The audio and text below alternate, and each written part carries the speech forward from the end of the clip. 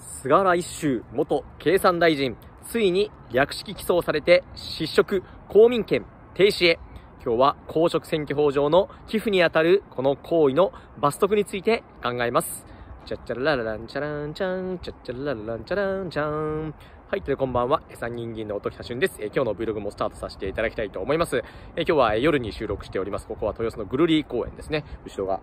レインボーブリッジでございますけども、え今日これ土曜日に収録しているんですけども、え今日はですね、菅原一秀元経産大臣、衆議院議員が、えついにですね、略式起訴されまして公職選挙法違反、寄付行為の禁止にあたる公職選挙法違反で、略式起訴されて議員失職する見込みと、まいうことで、この件について少し取り上げたいと思います。まあ、菅原一秀さんが経産大臣になってからですね、選挙区内に多数の香典であるとか、メロンとかカニとか、いろんな物品を配っていたということが、えー、週刊誌にすっぱ抜かれまして、で、議員、あの、大臣は、辞任をされて、えその後ですね、検察の捜査で、まあ、不起訴と、まあ、悪質性がないと、何が悪質性がないんだと思うんですけどね、まあ、検察の判断で不起訴と、えなっていたわけですが、この後検察審議会という、まあ、第三者機関がですね、これはおかしいと、これは起訴相当だというふうに、え差し戻しまして、で検察の方が再捜査を、えしておりました。えー、まあ、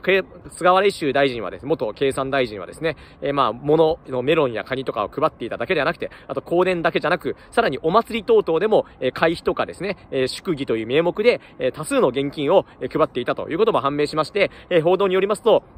まあ、大体80万円相当が違法行為に当たると認定されて、えー、この時効じゃない範囲内だけでも現金だけで50万円以上に上るという読売新聞の記事が出ておりました。読売だったかな？新聞報道が出ておりました。えー、まあもうどうしようもないですね。これはもう失職というのは当然のことだと思いますし、なぜ最初ね、不起訴になったのかと。まあ、この検察の恣意的な判断については強く異を唱えたいというふうに思います。で、この寄付行為というのはですね、まあ残念ながら、まあ、昔に比べたら随分マシになってきたと言われてるんですが、え、このお祭りとかですね、会費とか、え、ご祝儀という名目でお金を持っていくということは、東京都内においても、え、まだまだ残っていると思います。私も2013年に東京都議会議員初当選したですね、その後いろんなお祭りとかに夏になると顔出したりするんですけども、やっぱりですね、この町内会とか、あの、その本部みたいなテントがあるんです。まあ、そのテントに大体まず政治家というのは挨拶に今日はおめでおめでとうございますとか言って、えー、挨拶に行くわけですけども、まあ、そこでですね、まあ、それは全部が全部ではないですけども、いくつかのやっぱりそのお祭りではですね、あれ手ぶらなのとかですね、まあ、もっとダイレクトに、まあ、こういう時は本人の名義じゃなくても、秘書とかご家族の名義で寄付金ぐらい、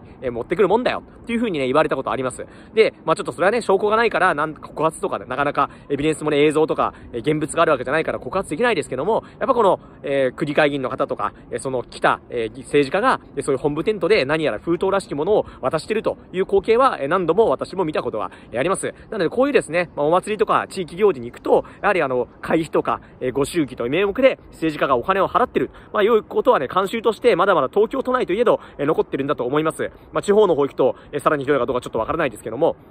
まあ、こういうのはですね、もらう方もやっぱり、えー、犯罪行為、えー、違法行為でございますので、まあ、こういう意識もつけていかなきゃいけないですし、で、政治家はやっぱりこの選挙には落ちたくないですから、えー、誰か一人だけ寄付金を持っていかないと手ぶらで行くとですね、なんだ A と B と C は持ってきたのに D だけ持ってこなかったと。まあ、そういうふうにやっぱ悪評も立てられますし、まあ、どうしても怖いので右へ習いでお金払ってしまうと、まあ、いうことがあるんですけども、まあ、こういうやっぱ悪い慣習も、えー、どんどんどんどんなくしていかなきゃいけないと思いますし、私もですね、まあ、2013年当然当選以来ですね、まあ、こういう悪しき慣習は断ち切らねばという思いで、まあ、一度りともですね、まあ、こういった不当な寄付金、ご祝儀というのは払ったことがございませんし、まあ、飲食が出る会合等々ではその飲食分の実費というのは当然お支払いしますけども、まあ、それ以上のものは決して払わないと、まいうことを貫いてまいりました。ま、それで、まあ、運よくというかですね、まあ生き残れてるからいいですけども、やっぱりですね、こういうなんか、お金払って当たり前、お金持ってこない奴は、えなんかこう、町内会として、その祭りの地域として、まあ、ホスじゃないですけどね、応援しない、まあ、みたいなこういう考え方もやっぱり良くないと思いますし、えこれはもうどんどんどんどん、えなくしていかなきゃいけないんだろうな、というふうに、え思っております。えなので今回、まあ、菅原一秀さんが、え今回不起訴にならなかったというのは、まあ、これは私一歩前進だと思いますし、これまでですね、やっぱ悪質性がないとかですね、まあ、なんか初犯だからとか、そういうわけわかんない理由で不起訴になることってたくさんあったんですね。まあ、以前ブログでも書きましたけど、まあ、かつて都議会のドンと呼ばれた内田茂さんも、ビール券を町内会で自分の選挙区で配ってると、まあ、いうことが一回こう、えー、告発されたんですけども、まあ、それもやっぱり検察の判断で不起訴と、まあ、金額も大きくないしということで、不起訴になったんですけども、そんななんか悪質性がないとかそういうことを勝手に検察が判断しちゃダメですよね。やっぱこの裁判に訴えて、まあ、裁判所でつまびらかにそれにしていただくとか、まあ、そういうことも必要です。まあ、今回はもう略式起訴ということで、まあ、裁判経ずにですね、まあ、罰金刑確定したわけですけども、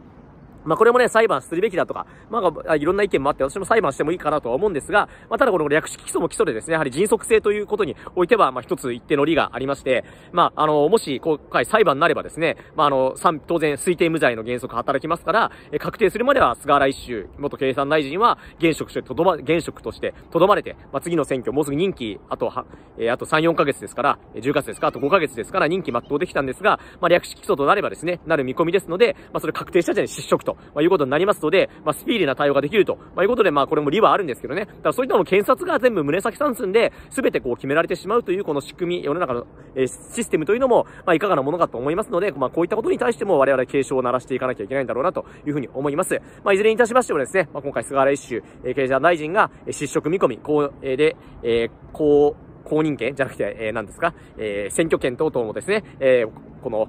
え選挙権、非選挙権なども、え非選挙権もこれはしばらく停止ということになるわけですから、自民党はまた別の候補者立てくる立ててくると思いますので、東京第9区の選挙区というのは、まあ、波乱、この激戦になると思いますけども、我々日本維新の会も、この練馬区を中心とした、東京第9区、菅原一秀、元経産大臣の選挙区には、南淳、南淳支部長が、おりますし、まあ、しっかりとですね、維新の会は、お金はしがらみを持たないということを、ちゃんと、えこう、えー、しがらみを持たないということが一つの強みでございますし、えー、我々も当然、えー、そういった寄付金を払うとか、そういう不法行為には手も染めずにしっかりと活動してまいりたいと思いますので、今後ともよろしくご指導ご鞭達のほどお願い申し上げまして、え今日の Vlog とさせていただきたいと思います。それではまた次回、さよなら。